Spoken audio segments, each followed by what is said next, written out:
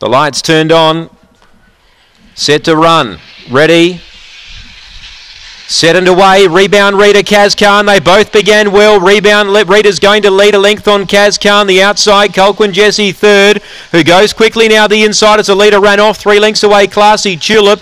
Then Reluctant King. Last is Gan Kao Shen. Leader is now Colquhoun Jesse. Kaz Khan's coming late, but Colquhoun Jesse racing too well.